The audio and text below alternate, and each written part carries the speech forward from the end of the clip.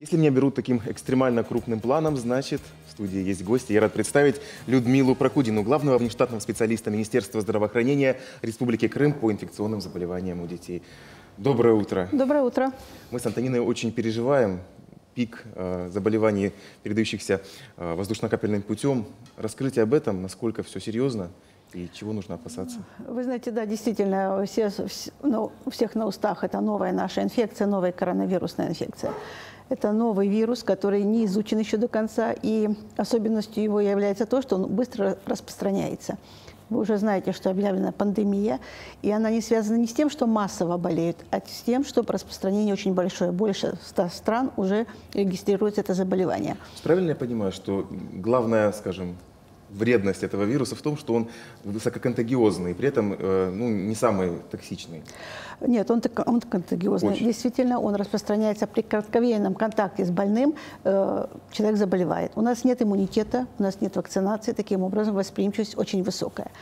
И нужно сказать, что, конечно, оно начинается как банальная респираторная инфекция с повышением температуры 38 и выше, кашель, насморк, боль в горле но очень часто он дает тяжелое осложнение. И, как правило, это страдают лица, как мы их называем, группа риска, это старше 50, это 60 и выше лет. Это лица, которые имеют хронические тяжелые заболевания, как со стороны сердечно-сосудистой системы, дыхательной системы, эндокринной, беременные женщины дети раннего возраста тоже подвержены, может быть, тяжелым осложнениям. Вот она, эта инфекция, опасна именно тяжелыми осложнениями. И я хочу сказать, самое тяжелое, и чаще всего, это тяжелые пневмонии. Это очень опасно, когда идет повреждение легких, и иногда невозможно спасти больного, если он не вовремя обратился. Людмила Ивановна, успокойте нас.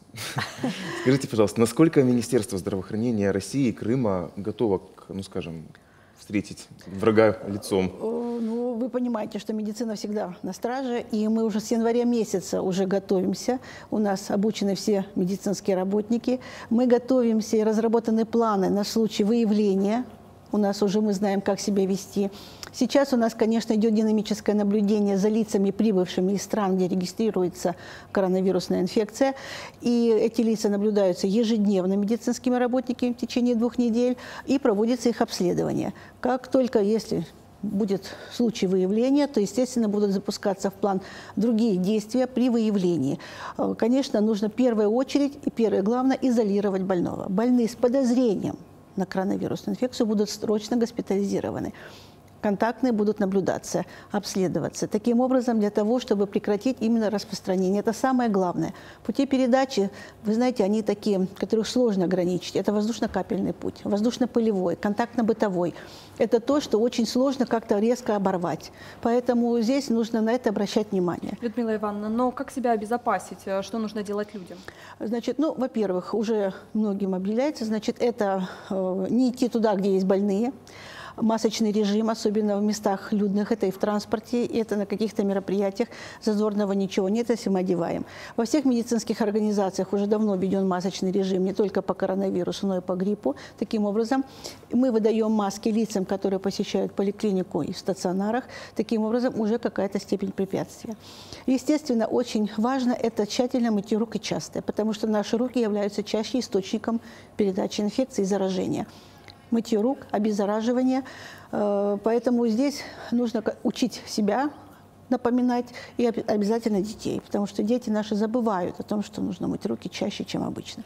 Позвольте еще вас попросить внести ясность в этот вопрос. Очень многие недобросовестные фармацевтические компании рекламируют свои противовирусные препараты, которые ну, официально заявлено, что э, не имеют противовирусного доказанного действия? Могли бы прокомментировать? Ну, к сожалению, у нас еще нет препаратов, которые действуют на этот вирус. А, оказывается помощь противовирусная широкого спектра, и при осложнении уже лечится осложнение.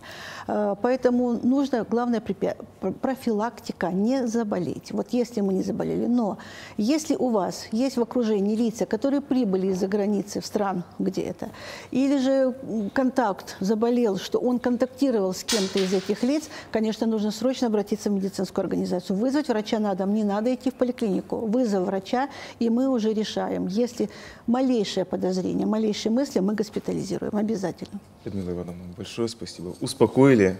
Внушили надежду. Я надеюсь, что- я убедила, что профилактика – это главное. И всё Пе- зависит- Первый закон врачей И все зависит медицины. от нас с вами.